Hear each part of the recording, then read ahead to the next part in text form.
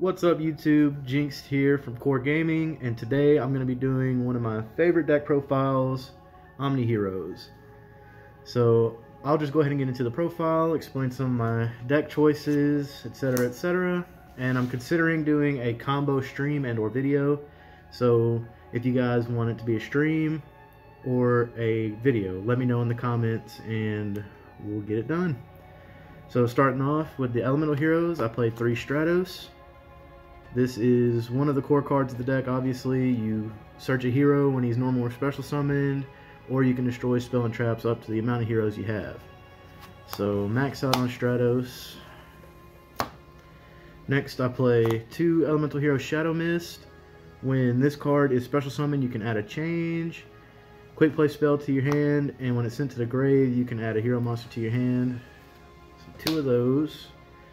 And then one Honest Neos, boosting your heroes up by 25 and then one liquid soldier and one solid soldier. So basically when he's normal summoned then you can special summon a hero from grave. And if he's used as a fusion material and sent to the graveyard or banished you can draw two cards and discard one. And when he's normal summoned you special summon a hero from your hand. And if he is sent from the monster zone to the graveyard by a spell effect you can target one hero monster in your graveyard and special summon it. So, one of each of those. I see a lot of people running more than one Liquid Soldier, and I don't feel like it's that necessary. I feel like it get a little cloggy after a while. So one's fine for me, and then the same thing with the Solid Soldier. I feel like one's okay there too. Then Destiny Heroes, we play three Malicious. This is another one of your playmakers of the deck you would send this to the graveyard with either Vyon, or you would send the Shadow Mist to graveyard with Vyon, and honestly, even if you open this card, it's not really a brick because there's ways to get it out of your hand to the graveyard, and we'll get into that. So three Mally, then one Plasma. This is one of the boss monsters of the deck. Uh, it's basically a walking skill drain and Thousand Eyes restricted one. So that's the best way to really explain Plasma. Then last Destiny Heroes, we play one Celestial and one Dynatag. And yeah, that's it for Destiny Heroes. These two are really just in here for the Fusion Destiny targets. Then Vision Heroes, play three Vision Hero Faris. This is the MVP of the deck in my opinion. If it's in your hand, you discard a hero monster and you special summon it. And then when it's special summoned, you put a Vision Hero into the spell and trap card zone as a continuous trap. So three Faris, that's one of the ways that you can get Malicious from your hand into the graveyard. And then the Vision Hero that you always want to get with Faris is Increase. I only play one Increase at the moment, but I'm waiting on another one. And when that comes in, I'm going to cut the Celestial. So that would be my second Increase.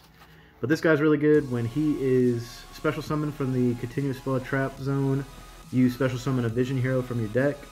And the way you Special Summon him from the zone is tributing a hero. So if you open Mally and Faris, then you can pitch the Mally, special the Faris, banish the Mally, and then tribute the Mally for this guy. And then the Vision Hero you get off of Increases effect is 2 Vyon. So what Vyon does is when he's normal or special summoned, you send a hero from the deck to the grave. And again, like I said, you would either send Mally or Shadow Mist. And then you can banish a hero from the graveyard and add a polymerization from your deck to your hand. So two of those. I don't run a Dusted Gold or Dark Calling, so it left me a little room to play around. And I've been testing new two Neospace connectors and one Neo-Spacian Aqua Dolphin. And honestly, it's I feel like it's pretty good tech because you could start out with connector and special to Aqua Dolphin, and if you open Mally, you can discard the Mally and look at your opponent's hand with Aqua Dolphin. So it kind of lets you know how far you can extend. Like if your opponent has a Nibiru or a Droll or anything in their hand to stop you, then you kind of know about your limits, etc. So I actually really like this. I think I think this is doing pretty good for me. Moving on to the spells, we play three E-Call searches for an elemental hero, so it's basically a semi-rota for the deck. Makes it easier to get through the deck and get all your resources. Next, three Mask Change. It's pretty self-explanatory. Then we play two Fusion Destinies. So if you don't know what this card does, basically you fusion summon a Destiny Hero fusion monster using materials from your deck. So, um, well, a lot of the times what I like to do is target Dangerous, and then you send one Destiny Hero monster and a Dark Effect monster. So you could send a Shadow Mist or anything like that with him. So that's what I like to do. And Dystopia is actually a pretty good card too. But yeah, just two of these. And then we play the one ofs. We play one Miracle Fusion and one Poly. This is for Sunrise. This is for Vyon.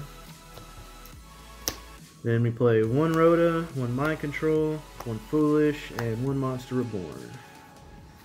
And then to end the main deck, we play three traps. I play two Strike and a Solemn Judgment. Moving on to the extra deck. I also don't play Malicious Bane, so we'll get started with that. I play one Sunrise. Sunrise is actually really, really busted. When I first read this card, I kind of underestimated it, but it's really good. So when he's Fusion Summoned, you get to add a Miracle Fusion from your deck to your hand.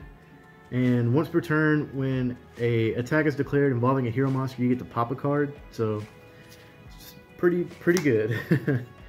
Then next we have one Absolute Zero and one Master Acid. These are your board wipe cards. So you mask change the Absolute Zero into Acid. When Absolute Zero leaves the field, you nuke the monsters. Yeah, you nuke the monsters. When Acid hits the field, you nuke the spell and traps. So that is your board wipe. Next we play two Dark Law. So typically your opening board is going to be Plasma Dark Law, and that's going to lock your opponent out for the most part, because Plasma is a skill drain, and Dark Law banishes anything sent to the graveyard, and anytime they add a card from their deck to their hand except draw phase and damage step, then you get to banish a random card from their hand too.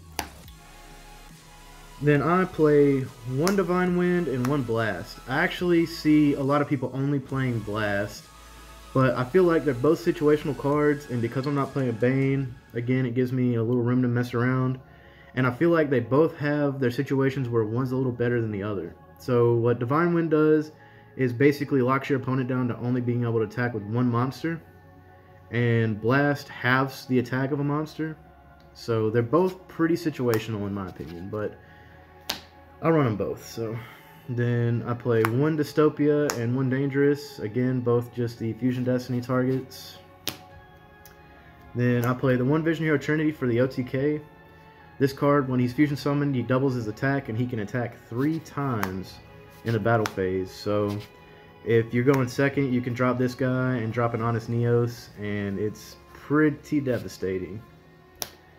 Next, we play the Links. We got two Xtra hero Cross Crusader. This guy is really good. Basically, you link summon into this guy and you special summon a Destiny hero back from your graveyard.